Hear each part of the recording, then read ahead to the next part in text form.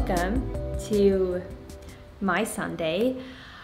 Today I started my period, so that kind of informs the entire day because it means that I'm gonna take everything even slower and not put pressure on myself to do anything.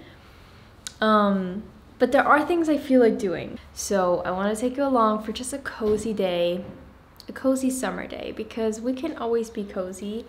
Um, so right now I'm making breakfast. I had this last weekend.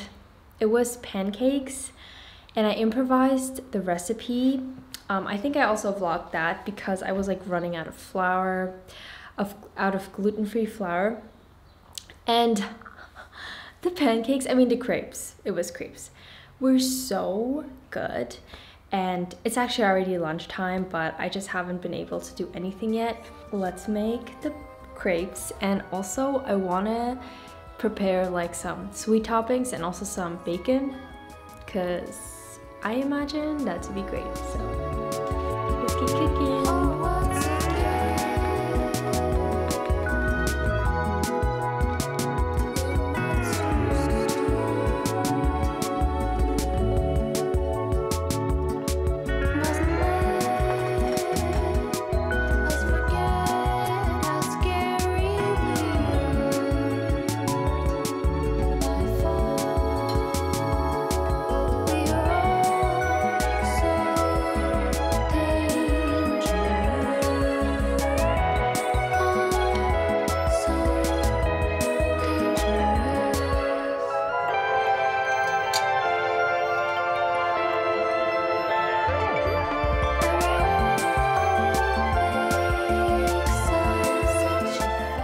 you watch my morning routine, I like to use a little espresso cup um, to like cool down my coffee and mix it with sugar. Today I'm using this one that I also made.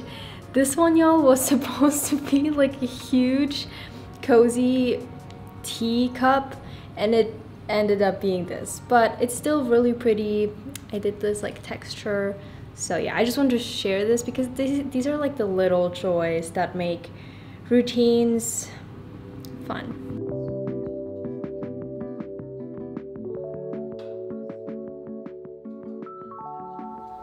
This meal is such a comfort and it's so cozy even on a summer day.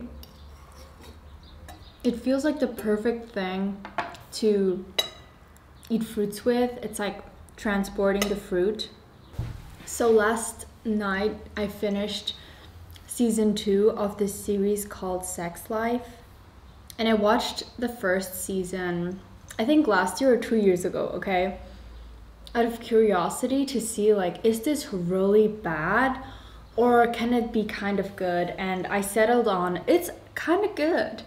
Um, in like the most extreme ways. I don't know if, if y'all are familiar with like movies and books like After, they kind of feel I don't know if After is a fan fiction. Is it? It's like one of those movies that feel like fan fiction.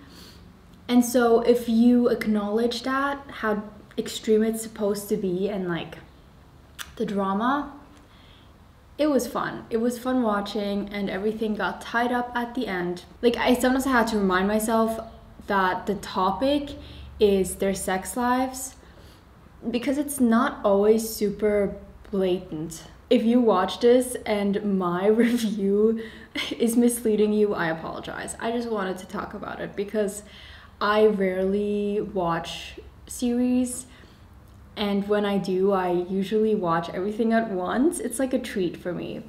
Um, like I watched Bridgerton last month in one day and it was that was a treat Speaking of series, if you're interested in a series, now this would have been perfect to watch during Pride Month, but hey, Pride throughout the entire year, okay? Sense8, if you haven't watched Sense8 yet, it is a little dramatic. There is like action, but the main messages and just the queer power is amazing, fun, So if you're interested in, you know, like watching a new series, I think there's two seasons or three actually. And the production is great as well. I think it's a little older, but still worth a watch. It's a series that I would recommend to anyone. So yeah, I think anyone. I also watched You, um, the newest season, and I don't want to go off the rails, but I personally enjoyed it and I want to see more. So that is my little rant on series. And if you're interested in hearing people, if you're interested in a YouTuber who you can spend time with watching movies, Dylan is in trouble. I love watching him watch movies and talk about them. Towards China has always been like, yeah, we're gonna, we're not gonna do anything. Uh, we are no longer recognizing Taiwan as. I'm drinking my coffee, I'm realizing that I need to pick my next fiction read because I finished East of Eden with a sad heart to leave these people behind I wrote in my journal like goodbye to all of the characters, even the seemingly evil char- characters, because it was just a pleasure to get a peek into these generations and into their lives. Um, yeah, for me, this is definitely going to be one of my favorite books, probably of all time. So, right now I'm more on the conservative side of buying new books in like physical books and I think I still have a couple ebooks that I haven't finished yet. So I will be looking into that library, I think, to pick my next read, my ne next fiction read, because I'm still reading a couple of like nonfiction books right now. So that's what I'm reading. I'll show you a little later what what I've decided.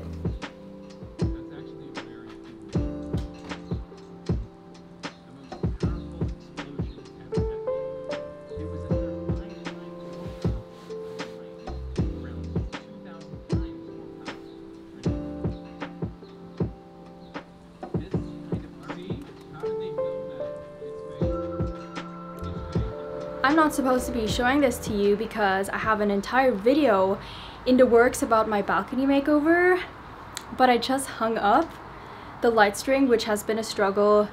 I've had to try different methods and it's staying up. So take this as a sneak peek. It's something I just wanted to get done today so that I can finish that video. And I'm just so thrilled to have this up. Look how cute! I just got home from a walk with Bourbon and I'm grateful that my cramps are at bay right now. So after I cool down for a bit, I would love to hem these curtains. Now, interestingly enough, this is made from the scraps of when I hemmed some other curtains. So that's fun. Maybe I'm gonna use this fabric to sew um, something, something fun too. So I'm going to go gather my sewing supplies and set up a nice station with my sewing machine and everything I need, like a mise en place for cooking. I've actually mentioned this in one of my like how to sew videos that I just like to have everything in one spot so while I do that, I would love to take a minute to thank our sponsor, BetterHelp.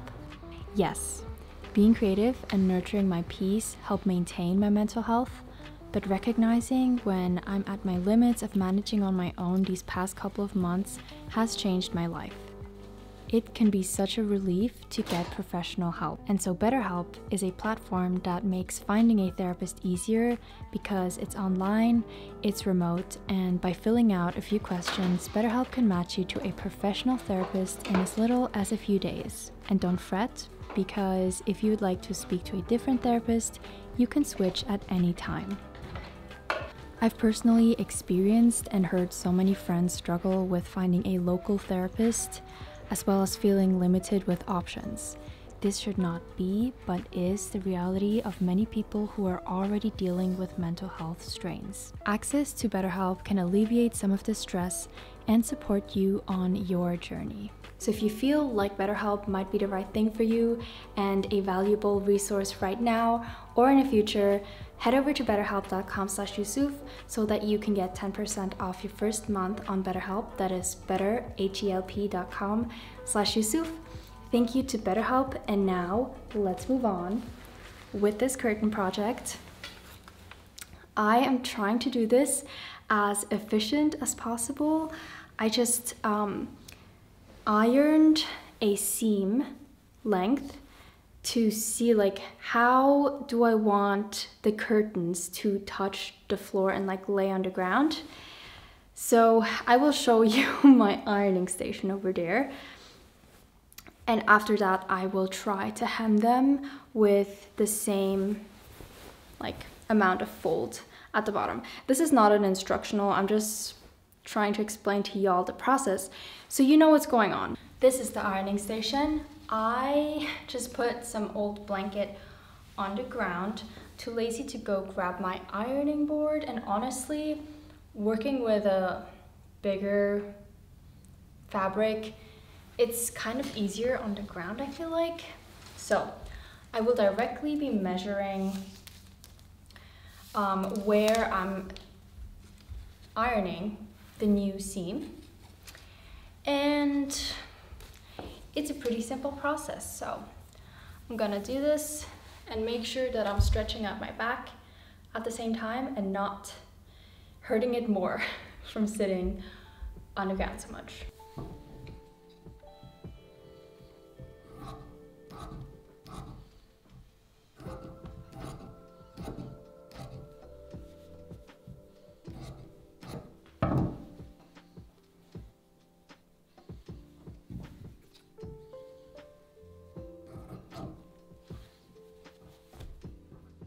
Some of y'all can relate. Um, period sweats. I was just starting to sweat even though I wasn't really moving. Um, I'm feeling more cooled down now. I just took off my clothes. So I prepared the curtains, four pieces. I just have to sew straight lines and then I'm done.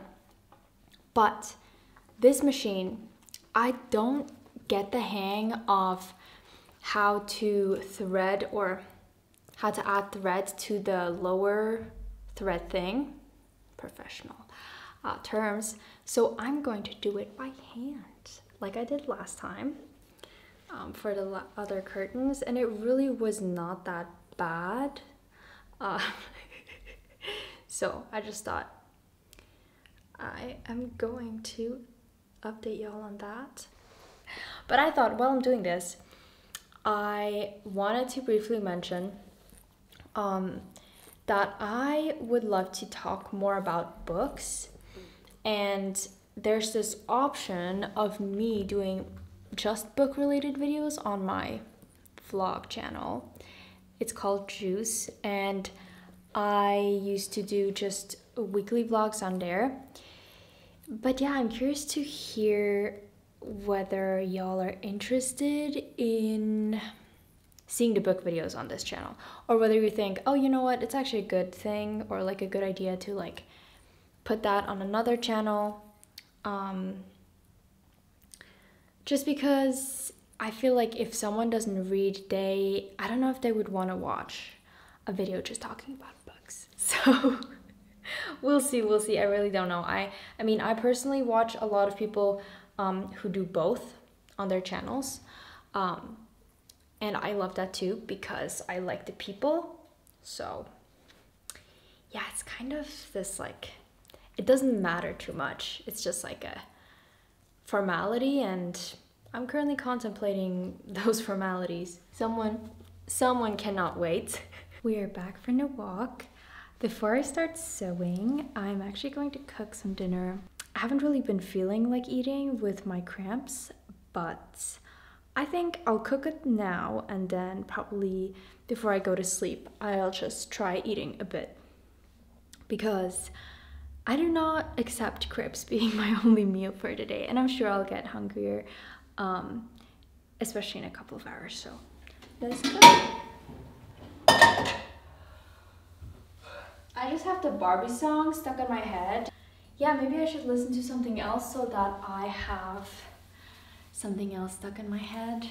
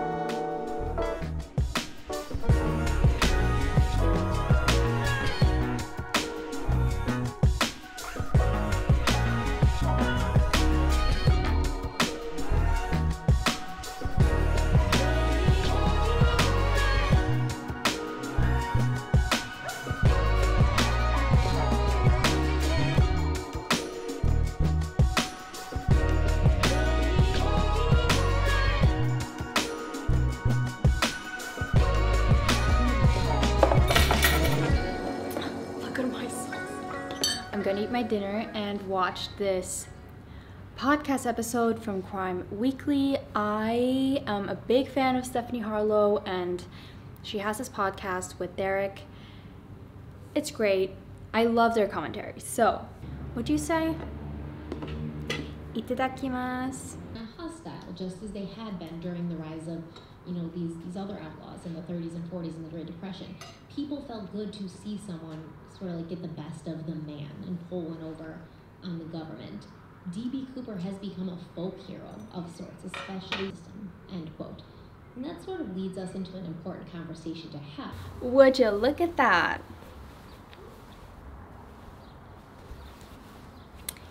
And now it's going to clean my floors basically. Let's hang this up. First, I'm gonna put the light on, okay? All right. It looks so cute even from the inside. Right. Let's get to it. Let's get to it. So I like to put them, I have like two different rails.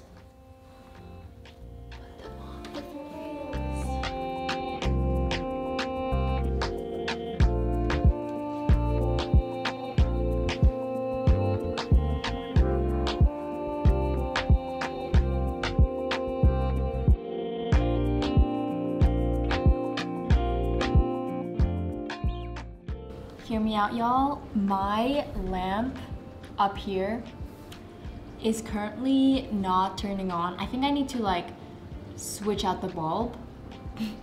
so I'm gonna use this lamp from my balcony to clean up all of the pins into my pin cushion, which I actually love to do because I love to color coordinate it. And right now it's super messy, so that's what I'm doing.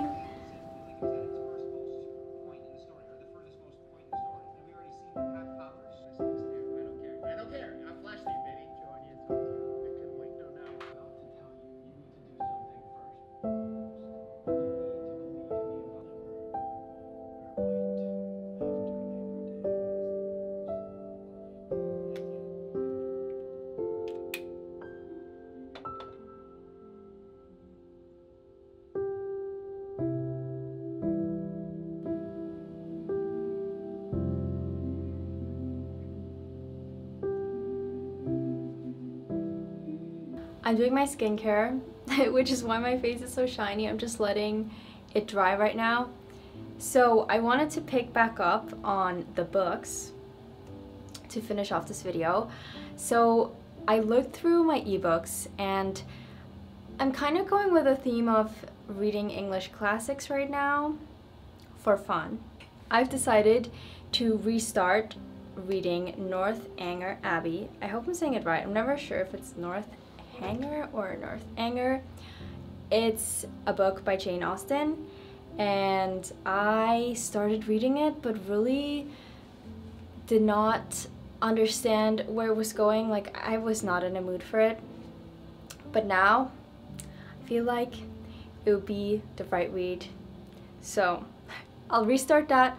Hopefully you'll hear some updates and I'm excited to get into it. I'm excited to go back into that era. Um, and yeah, read a romance, get inspired, inspired to live. so that is my book that I'm going to be starting. I'll probably read a bit today. It's been fun chatting with y'all. Thank you for following this slow self-care day and I hope to see you around. If you're interested in exclusive content, watching my videos a bit earlier, and some more personal life updates throughout the month, you can check out my Patreon. Otherwise, I will see you around, and until then, isu!